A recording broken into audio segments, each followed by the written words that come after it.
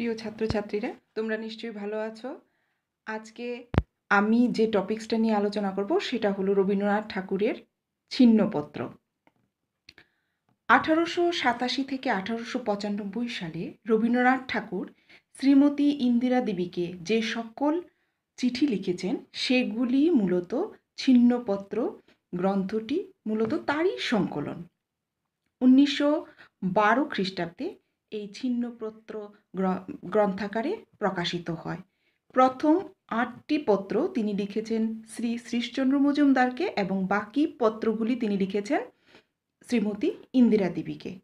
আজকে আমাদের ছিন্নপত্রের অন্তর্গত বাহান্ন সংখ্যক যে পত্রটি আছে, সেই পত্রটির উপরই আমি আজকে আলোচনা করব। বাহান্ন সংখ্যক পত্রে যেখানে শিলাই শিলাইদহ থেকে রবীন্দ্রনাথ ঠাকুর ইন্দিরা দেবীকে বারোশো নিরানব্বই দুশোরা আষাঢ় তিনি এই পত্রটা লিখেছেন। সেখানে তিনি আষাঢ়ের প্রথম দিবসে যে মুষলধারে বৃষ্টি হয়েছিল তারই অপূর্ব বর্ণনা করেছেন। অর্থাৎ আষাঢ়ের প্রথম যে নববর্ষার যে উদয় হয়েছে সেই প্রসঙ্গটা টেনেই এই ছিন্নপত্রের মূল জিনিসটা তিনি লিখেছেন বা সৃষ্টি করেছেন। এই নববর্ষার যে মুহূর্তটা, এই নববর্ষার মধ্যে যে প্রকৃতি, যে একটা অফুরন্ত সৌন্দর্য, সেই সৌন্দর্যটাকে তিনি উপলব্ধি করেছেন এবং সেই সৌন্দর্য উপলব্ধি করতে গিয়ে রবীন্দ্রনাথ ঠাকুর কবি কালিদাসের মেঘদূত কাব্যের অবতারণা করেছেন, মেঘদূত কাব্যের প্রসঙ্গ এনেছেন। মেঘদূত কাব্যের কথা বলতে গিয়ে বলা হয় যে মেঘদূত কালিদাসের রচিত সংস্কৃত সাহিত্যের একটি শ্রেষ্ঠ কাব্য। প্রভুর অভিশাপের জন্য অলকার প্রেমিক যক্ষ প্রিয়তমাকে ছেড়ে দূরবর্তী রামগিরি পর্বতে নির্বাসিত হয় এবং সেই সময় যে বিরহ বিধুর যে একটা পরিস্থিতির সৃষ্টি হয়েছিল, মূলত মেঘদূত কাব্যটা তারই উপজীব্য বিষয়। এখানে রবীন্দ্রনাথ কবি কালিদাস মেঘদূত কাব্যটার দুইটি খণ্ড করেছেন, একটা পূর্ব মেঘ, আরেকটা হলো উত্তর মেঘ। পূর্ব মেঘ যেখানে রামগিরি থেকে অলকাপ পর্যন্ত মেঘের যে যাত্রাপথ সেটা বর্ণনা করা হয়েছে এবং দ্বিতীয়টি উত্তর মেঘ, সেখানে তিনি প্রেম ও সৌন্দর্যের অস্বাভাবিক একটা বর্ণনা দিয়েছেন। রবীন্দ্রনাথ ঠাকুর খুব ছোটবেলা থেকেই কিন্তু কালিদাসের সাহিত্য সৃষ্টির সঙ্গে পরিচিত হন এবং কালিদাসের অসাধারণ সাহিত্য সৃষ্টি তার মনে গভীর রেখাপাত করেছিল। এবং এই কারণেই রবীন্দ্রনাথ ঠাকুর তার বিভিন্ন জায়গাতে কখনো প্রাচীন সাহিত্য, কখনো জীবন স্মৃতি, কখনো ছিন্নপত্র বা তার বিভিন্ন উপন্যাস, বিভিন্ন গল্প, বিভিন্ন নাটকেও কিন্তু এই কালিদাসের একটা প্রভাব রয়ে গেছে। কারণ তিনি কালিদাসের সাহিত্য সৃষ্টিকে খুবই সম্মান করতেন। শ্রদ্ধার সঙ্গে তার কালিদাসের সাহিত্যকে তিনি শ্রদ্ধা করতেন।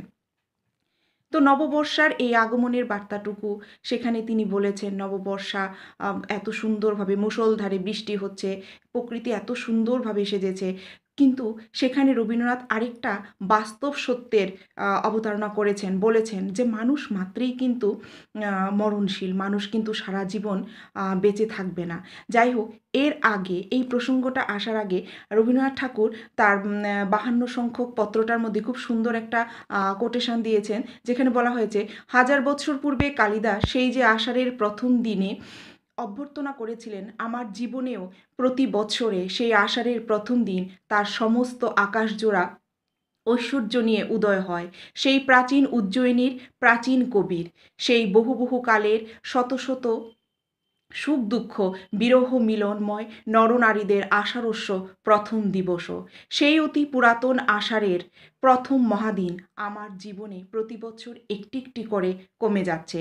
অবশেষে এক সময় আসবে যখন সে এই কালিদাসের দিন, এই মেঘদূতের দিন, এই ভারতবর্ষের বর্ষার চিরকালীন প্রথম দিন আমার অদৃশ্যে আর একটিও অবশিষ্ট থাকবে না। সত্যি কথাই মানুষ মরণশীল, সারা জীবন তো মানুষ বেঁচে থাকবে না। রবীন্দ্রনাথ ঠাকুর সেই সত্যটাকে উপলব্ধি করেছেন। কারণ আষাঢ়ের প্রকৃতির যে এত সুন্দর রূপ, প্রকৃতির পৃথিবীর চারদিকে যে এত সৌন্দর্য সেই সৌন্দর্যকে উপলব্ধি করার জন্য একটা সুন্দর মনেরও প্রয়োজন হয়। রবীন্দ্রনাথ ঠাকুর বলছেন যে, সারা জীবন আমি হয়তো বেঁচে থাকব না। তখন হয়তো সেই আষাঢ়ে প্রথম দিবস আসবে। নববর্ষার আবির্ভাব হবে। হয়তো কালিদাসের মেঘদূত সবই থাকবে, কিন্তু হয়তো কবি থাকবেন না। সেইটাকে সেই জিনিসটাকে কবি উপলব্ধি করতে পেরেছিলেন বলেই তিনি বলেছেন যে, তিনি জীবনে প্রত্যেকটি, যেখানেই তিনি গেছেন, যে সৌন্দর্য তাকে আপ্লুত করেছে, সেই সৌন্দর্যকে তিনি ফাইলবন্দি করেছেন। তো, কিন্তু সেখানে তিনি আরেকটা জিনিসও বলেছেন যে মানুষ সেই প্রকৃতির পৃথিবীর চারদিকে যে এত সৌন্দর্য ছড়িয়ে ছিটিয়ে আছে, সেটা হয়তো উপলব্ধি করতে পারতেন, পারে না। কিন্তু এর মধ্যে যে একটা আনন্দ, একটা ইন্দ্রিয় সুখ, একটা মনে, একটা বিরাট ব্যাপার, একটা কাজ করে, একটা আত্মসুখ লাভ করা যায়, সেই সৌন্দর্যটাকে উপলব্ধি করার উচিত এবং উপলব্ধি করাটাও দরকার। তাই তো রবীন্দ্রনাথ ঠাকুর কবি রবীন্দ্রনাথ ঠাকুরই। এত সৌন্দর্য, পৃথিবীর চারদিকে এত সৌন্দর্য, এত কিছু। তার মধ্যে রবীন্দ্রনাথ হয়তো একদিন থাকবেন না। সেই সত্যটাকে উপলব্ধি করে তিনি মর্মাহত হননি কিন্তু। কিন্তু সেই জন্য তিনি এই প্রচুর সৌন্দর্যটাকে, যখন তিনি জীবিত ছিলেন, সে জীবিতকালে সেই সৌন্দর- সৌন্দর্যটাকে তিনি আহরণ করতে চেয়েছেন। যতটুকু পারেন তিনি সেটাকে উপলব্ধি করতে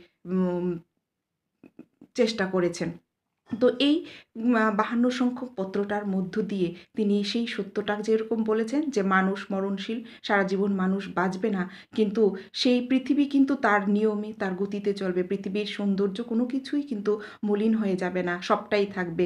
কিন্তু তার মধ্যেও সেই সৌন্দর্যটাকে যতদিন মানুষ বেঁচে থাকবে, যতদিন সেই সৌন্দর্যটাকে কিন্তু উপ, উপভোগ করতে হবে, যেটা রবীন্দ্রনাথ ঠাকুর করেছেন। তিনি বলেছেন যে, এটাকে ফাইলবন্দি করে রেখেছেন, যেখানে তিনি যে সৌন্দর্যটাকে তিনি দেখেছেন, সেই সৌন্দর্যটাকে পৃথিবীর যে কোনো জায়গায় যেই কিছুই হোক না কেন, সেই সামান্য সৌন্দর্যটাও কিন্তু তিনি ফাইলবন্দি করেছেন।